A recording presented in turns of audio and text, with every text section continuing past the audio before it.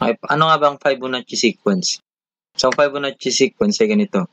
1, 1, 2, 3, 5, 8, 13, 21, 34, and so on. So, infinite yan.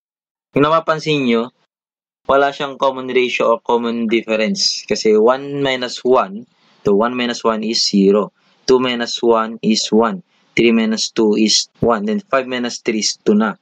8, 5, 8 minus 5, 3. And ratio, oh, wala naman tayo minumultiply para makuha yung next term. So, paano nga ba nakukuha yung mga terms? So, the pattern shows that each successive term is the sum of the two preceding terms. So, para mas maintindihan nyo, tingnan nyo to. So, yung unang term is parehong 1. And then, pag adin mo yan, 1 plus 1, that is 2. So, ang susunod na term ay 2. Then, pag adin mo yung 2, 1 saka 2. So, 3. So, ang next term ay 3. Then, 2 plus 3 is 5. So, the next term is 5. Then, 3 saka 5, pag adin mo, yan ay 8. So, ang next term ay 8. And so on. So, paulit-ulit lang yan. So, pag adin mo lang tong dalawang magkasunod na term, so, yun ang susunod na term. Ano yung susunod sa 8?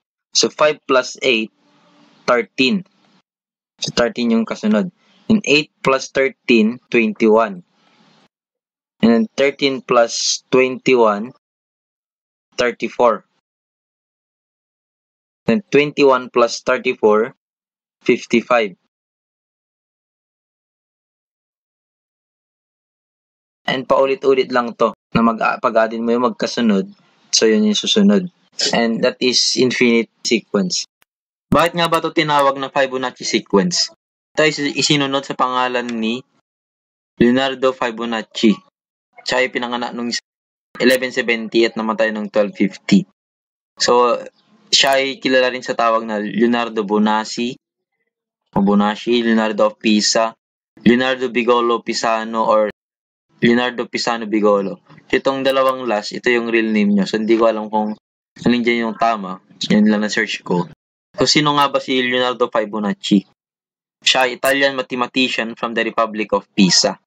So, siya ay tinaguri ang most talented Western mathematician of the Middle Ages. Pinublish niya yung libro niyang Liber Abasi noong 1202 kung saan nakilala yung Fibonacci sequence. So, ito ang video natin para sa araw na ito. At sana nag-enjoy kayo at may bago kayong natutunan. At huwag kakalimutang mag-like, mag-share, at mag-subscribe at pinutin na rin ang notification bell para updated kayo sa mga bagong video.